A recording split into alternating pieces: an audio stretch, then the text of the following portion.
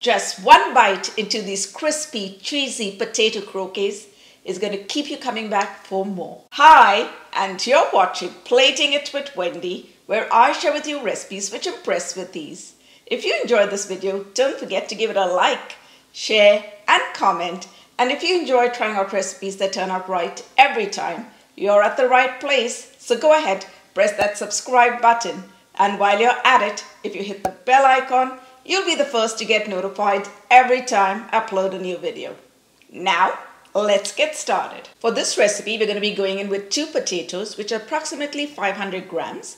And I'm going in with the yellow flesh potatoes. We're just going to peel them first because we're going to boil them.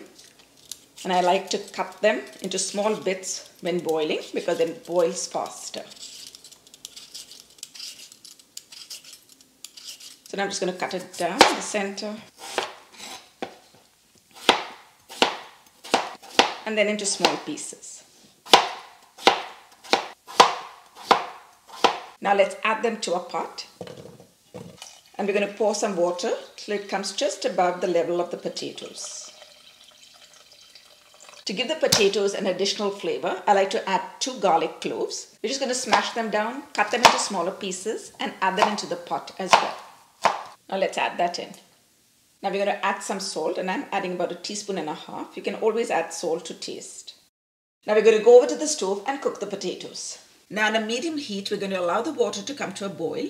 And once it comes to a boil, we're going to time it and cook the potatoes for about 10 minutes. We want to cook it till a knife inserted into the potatoes just slips right through. Now that the potatoes are cooked, we're going to drain out the water and put the potatoes with the garlic back into the hot pot and keep it over the stove although it's off. And we're just going to keep it here for about a minute or so because this is going to help to dry up all that excess water that may be there. We'll empty that now into a bowl. And while it's still hot, we're going to mash it.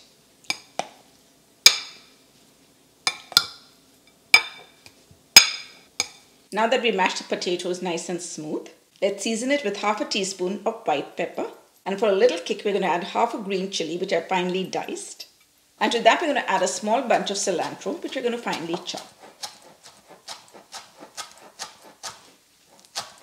And let's add that in. Now to help bind the croquettes together, we're going to add 3 tablespoons of cornstarch. Now let's go in there and mix it all together.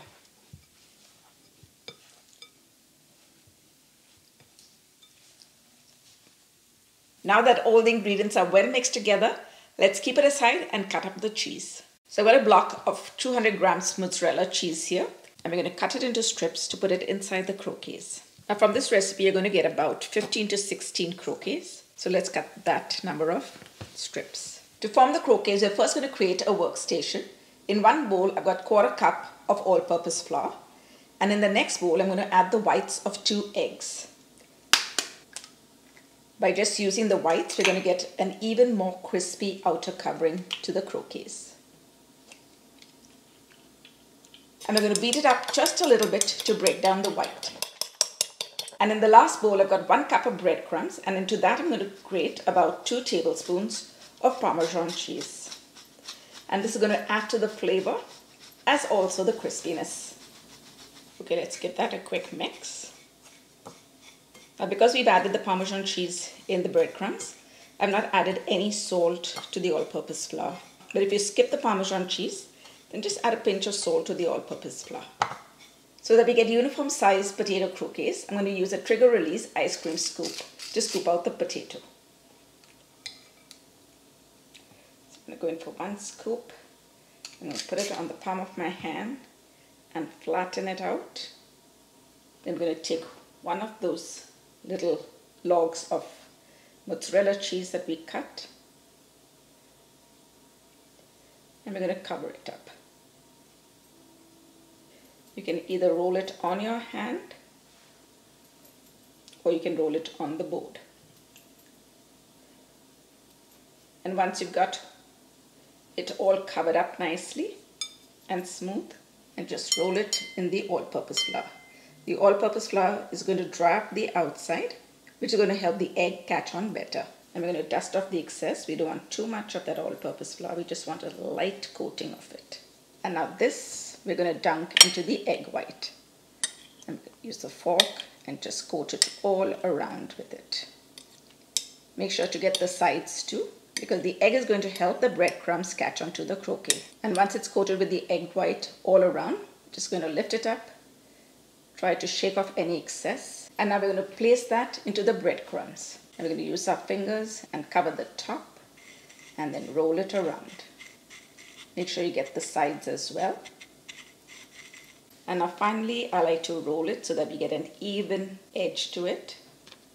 And just give it a little press on both sides.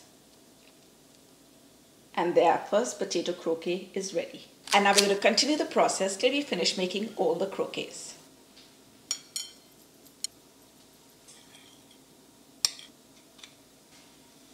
Now that we've finished shaping all the croquets, let's go over to the stove and fry them. We're going to be deep frying the croquets, so I've heated up some oil in our deep pot.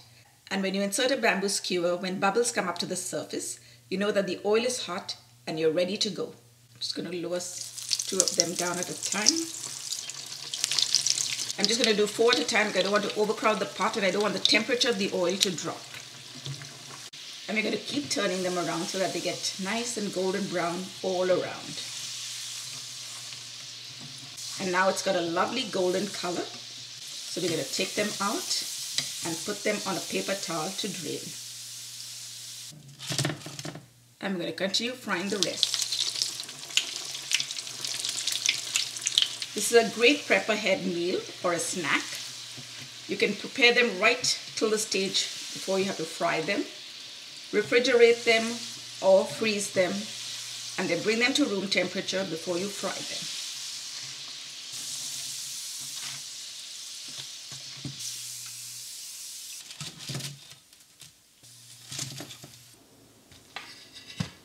Oh my goodness. Look at that. Are you ready? It's time to give our potato croquets a taste. Wow. I have to do this. I love to see that cheese pull. Just see that. Check that out. Mmm. But these are such an amazing snack to make. They can be enjoyed during summer when you have a get together during winter when you're feeling cold, or even during the monsoons when you just want to feel a little bit more cozy. They're crisp on the outside and soft on the inside with that cheesy surprise. If you want to enjoy these as much as I do, hop onto my website, platingitwithwendy.com, where you will find the full written recipe. Thanks for watching. See you soon.